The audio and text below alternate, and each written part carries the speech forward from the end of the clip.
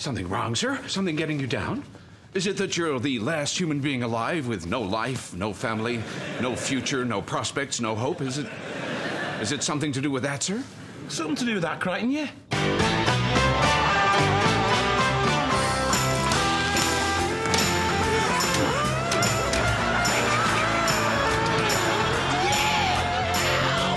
Mr. Lister gambled you in a poker game, sir, and I'm afraid to report he lost you. We're all deeply sorry, bud. Apart from me and him and him.